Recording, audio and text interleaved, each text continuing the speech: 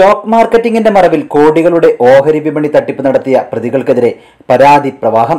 മുണ്ടയിൽ പ്രവർത്തിച്ചിരുന്ന Nafi associates L L P എന്ന തട്ടിപ്പ് ട്രേഡിംഗ് കമ്പനിക്കെതിരെയാണ് ഇരകളായ ആളുകൾ പരാതിയുമായി രംഗത്തെത്തിയിട്ടുള്ളത്.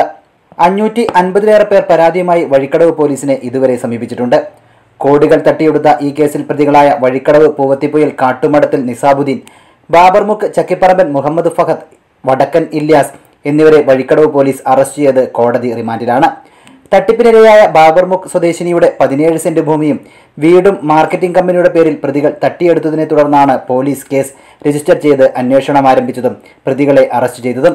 കൂടുതൽ ആളുകൾ തട്ടിപ്പിന് ഇരയായതായി സൂചനയുണ്ട്. Banning of unregulated deposit scheme പ്രകാരം മഞ്ചേരി അഡീഷണൽ സെക്ഷൻസ് കോടതിയിലേക്ക് നൽകിയ റിപ്പോർട്ട് പ്രകാരമാണ് പ്രതികളെ വീണ്ടും റിമാൻഡ് ചെയ്തത്. സർക്കാരിന്റെ അനുമതിയില്ലാത്ത നിക്ഷേപ പദ്ധതികൾ ആരംഭിക്കുന്നത് തടയുന്ന നിയമപ്രകാരമാണ് ഇവരെ അറസ്റ്റ് ചെയ്തതും കമ്പനി ഓഫീസ് പൂട്ടി സീൽ ചെയ്തതും. അനധികൃതമായി നിക്ഷേപം സ്വീകരിച്ച സ്ഥാപനത്തിന്റെ ആസ്തികൾ പിടിച്ചെടുക്കും. തട്ടിപ്പ് നടത്തിയ സ്ഥാപനത്തിന്റെ സ്ഥാപന ജംഗമ സ്വത്തുക്കൾ സംബന്ധിച്ച വിവരങ്ങൾ ബഡ്സ് പ്രത്യേക കോടതികളിൽ ഹാജരാക്കിയിട്ടുണ്ട്. കോടികളുടെ തട്ടിപ്പായതിനാൽ ജില്ലാ പോലീസ് മേധാവി എസ്. സുജിത് ദാസിന്റെ പ്രത്യേക മേൽനോട്ടത്തിലാണ് കേസിന്റെ അന്വേഷണം നടക്കുന്നത്. Nilambur DYSP Saju K. എബ്രാഹാമിന്റെ നേതൃത്വത്തിൽ അന്വേഷണ സംഘത്തെ വിപുലീകരിക്കുകയും ചെയ്തിട്ടുണ്ട്.